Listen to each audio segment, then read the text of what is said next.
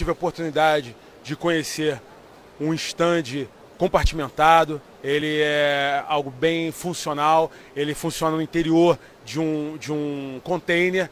E isso para nós forças de segurança que estamos é, inseridos em perímetros urbanos e com a dificuldade de termos acesso a espaços rurais para montarmos estandes, isso é uma realidade, uma tecnologia muito importante.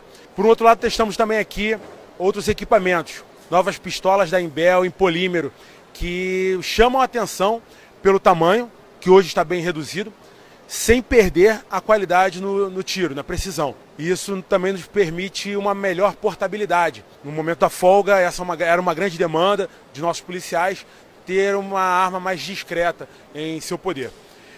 Testei também aqui um fuzil que ele agrega conceitos de empunhadura que já eram grandes demandas de nós, é, é, fiéis usuários do fuzil automático leve, também produzido pela Embel. Então, a empunhadura do